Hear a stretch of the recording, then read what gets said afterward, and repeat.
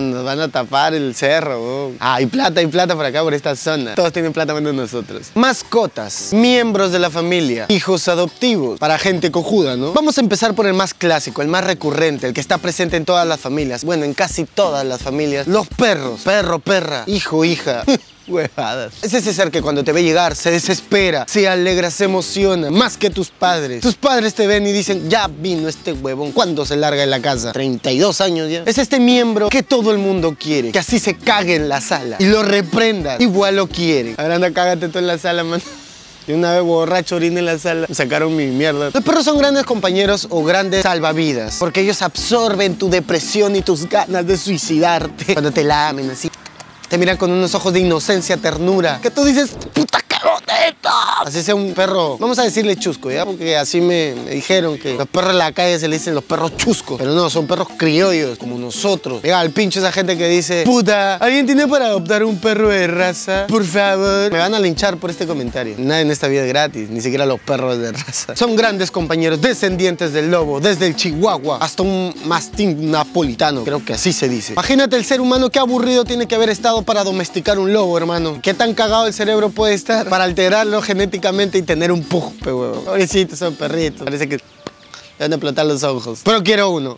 Me cago por un poco. Los animales huelen el peligro y los perros te huelen a ti. Son animales muy celosos. Ellos se dan cuenta cuando has estado con otro perro o otra perra. Están que te huelen ahí.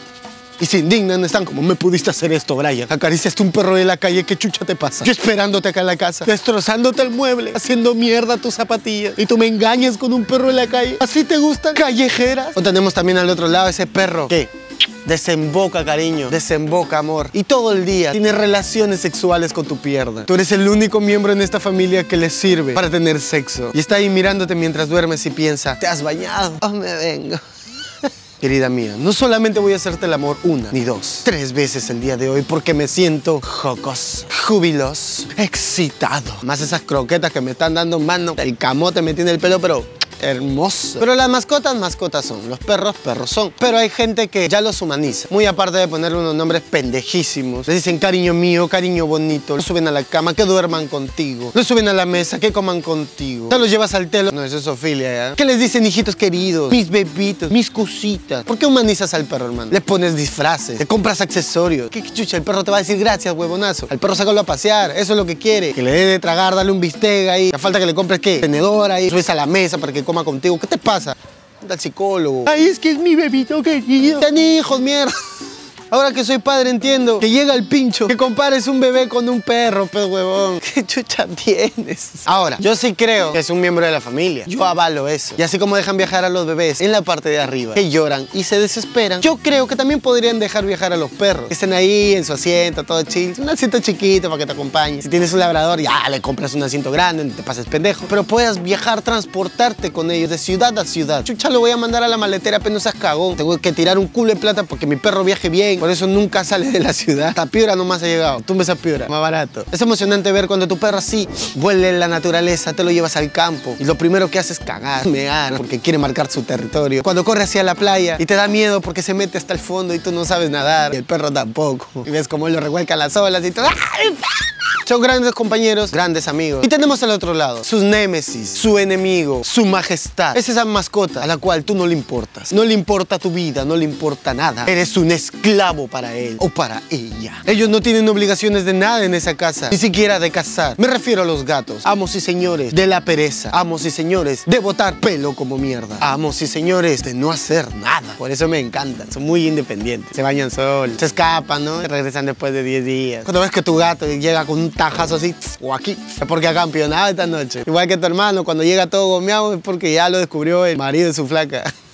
Los gatos son seres majestuosos y superiores, más superiores que el perro. El gato mira desde arriba a ese animal domesticado. El gato solamente se te acerca cuando ellos quieren. Solamente se te acerca cuando tienen hambre. Solamente se te acercan porque eres su esclavo, básicamente. Te despiertan 3 de la mañana, 4 de la mañana, están activos toda la noche. ¿Qué chucha tiene? Se te duerme ahí todo, en toda la cara. Tienes que tragar sus pelos. Dato curioso, ¿ah? Dicen que los pelos del gato te dejan estéril y no.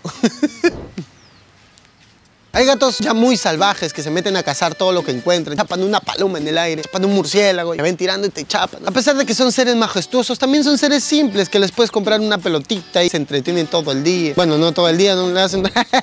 ya me aburrí, se van. Puedes tener locos con un láser y ellos están... ¿Qué fue? ¿Qué fue? ¿Qué fue?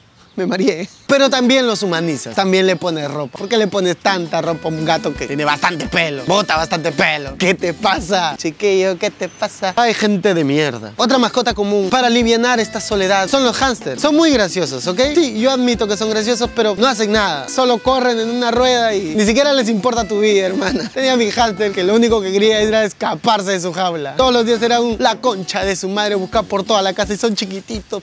Los encontraba en la puerta ahí, listo para salir. Yo vivía en un segundo piso, los hunters estaban en el primero, ya estaban ahí listos. Tenía miedo porque tenía perros y gatos, cualquier día los mataban. Y así fue. Pobrecito, mi hija. No duró mucho. Porque esta es la enemistad entre los felinos y los roedores que no se explican. Es como las mechas que tienen alianza con la uno. Sabemos el porqué de su rivalidad, pero no sabemos por qué se agreden físicamente. Te pasaría de pendejo si de verdad le pones ropa a un hámster, ya eso sería el colmo. Otros van más allá de su creatividad y tienen de mascota los loros. Los loros son chéveres, ¿ya? Yo nunca he tenido un loro. Porque los loros repiten todo lo que dicen. Tú estás ahí todo el día mirando a tu loro y le dices... Jorge. Y ellos... Jorge. Julia. Julia. Echa tu madre. La tuya. No he tenido la oportunidad de tener uno, no puedo opinar mucho de ellos. Debe ser de puta madre tener loros. Lo que sí he tenido, son muy aburridos, son peces. Son aburridos, man. Están ahí nadando. Hasta pena De hecho, vos los liberé. Pero la cagué porque los tiré al water, según yo, para que se vayan al mar. Es un tremendo imbécil. Como Nemo ahí en el water flotando al costado de un tronco. Otra de las mascotas que han pasado por mi vida son las tortugas. Seres hermosos, ¿ah? Bueno, no tan hermosos. Son esa belleza rara como tu ex. Todo el mundo lo ve feo, pero tú le dices, ay, pero sí es bonito. Yo tenía una tortuga ya, pero de la brava. Así. Tomasa se llamaba. Hermosa, majestuosa, que se escondía. No sabíamos cómo. Era así, mano. Se escondía por tres días. Salía a comer, que se cagaba de hambre. Tres días también Tomasa te pasabas de pendeja. Eso era un miembro más, porque tenía más de 20 años ahí en la casa. Eso, ¿no? Los perros que nos duraban 6 años, 5 años, se escapaban, comían Ay, no. Siempre era por accidente. Pero igual las tortugas no eran tan entretenidas, ¿no? Porque son muy lentas. Yo no quiero ver todo el día a ver cómo Tomasa se escondía. Yo trataba de ver, ya, ya, seguro se va a ir para allá. Ahorita regreso. Regresaba en una hora, estaba por acá. Regresaba en dos horas, estaba por acá. Regresaba en cinco horas, ya no estaba. Chucha, le metía turbo cuando nadie la veía. Estaba así, nadie me ve, nadie me ve. Ajá, la mierda, babos. ¿Dónde está su plata? Como éramos una familia numerosa y exótica del norte, también teníamos de mascota un mono llamado Samir. Este mono, muy pajero, pero man, ya demasiado ya. De él aprendí a tocarme. Samir era un mono muy inteligente que sabía diferenciar entre hombres y mujeres porque a los hombres los miraba le decía, y a la mujer le miraba y le decía, era un animal, te vas a decir que acosador ya, no sabes lo que hace, porque solo los animales acosan. Barras.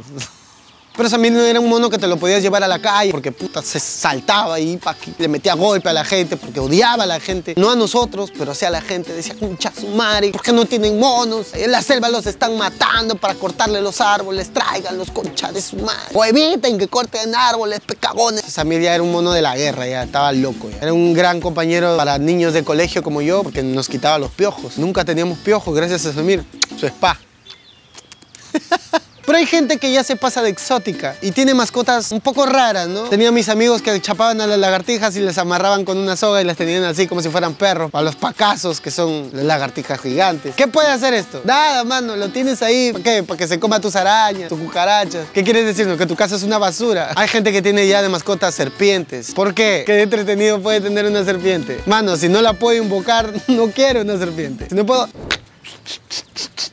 No quiero, porque hay que darle de comer seres vivos a esta serpiente, ¿no? Yo no quiero ver todos los días cómo se come un ratón. Pobrecito ratón. Me voy a encariñar más con el ratón que con la serpiente. Voy a estar llevando ahí la comida a la serpiente. ¡Ay, come! ¡Oh, suéltalo, concha tu madre! Y así nos vamos a extremos. También había una época donde te cambiaban botellas por pollitos. Yo un día, esperanzado, emocionado de la vida, cambié mis botellas por pollitos. Me dieron dos pollos, a los cuales crié con mucho cariño. Hasta cierta edad. Cuando llegué del colegio, me esperaba mi almuerzo. Qué rico arroz con pollo con su caldo de pollo y corrí a ver mis pollos y no estaban mis pollos. Le pregunté a mi vieja, mamá, ¿dónde están mis pollos? Tus pollos están en tu estómago, hijo. Y yo le dije, oh vieja, ¿qué chucha estás hablando? Ah, mano, mataron mis pollos así, basura, me dejaron sin pollos. Ahí no me volví a encariñar con animales que se puedan comer. Porque yo me encariñaba con los pavos, pues hermano. Desde enero me duraban hasta noviembre, en Navidad ya no estaban, los mandaban a vender. Estaban ahí en mi mesa, concha su madre. Particularmente a mí me hubiera gustado criar una cabra, que son la cagada, se meten cabezazos con todo. Una llama, mano. Parece que no le interesa nada en la vida, está a mí me gustaría criar un oso panda, porque va conmigo.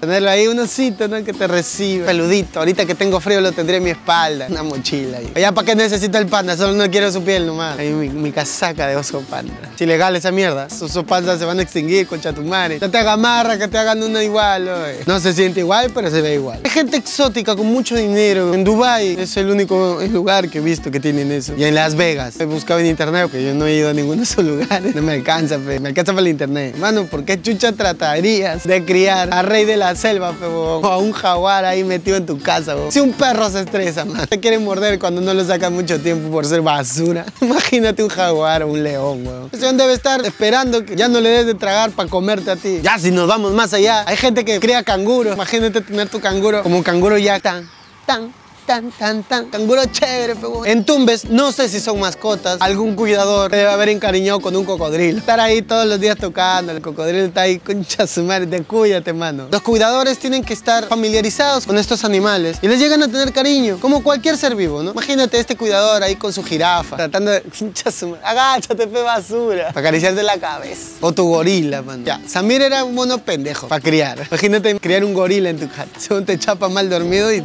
No, mano no. Quiero más mi culito de lo que quiere un mono. Pero hay gente que se pasa de pendeja y realmente lo saca de su hábitat natural y no les adecua un espacio en la casa. Por ejemplo, Samir tenía un espacio selvático en la casa, Tomasa también. Los perros tienen su cama, su trapo ahí en el piso. Los gatos, bueno, esos duermen donde se les dé su puta gana. Si vas a tener una mascota, si la sacas de su hábitat natural, adecúale un espacio en tu casa. Tampoco te pases de pendejo y tengas un pingüino y lo metas al congelador todos los días, porque es ilegal tener mascotas de ese tipo. Aprecio más la adopción de una mascota de un ser que está en la calle. Varios perros se recogido de la calle y por las mismas se han largado. perros de mierda apenas les abren la puerta. ¡Soy libre!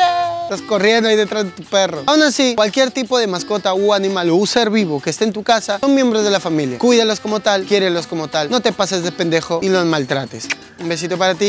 Un besito para tu mascota y un besito para la canina que te rompió el corazón. Estoy contigo, hermano, y con ella.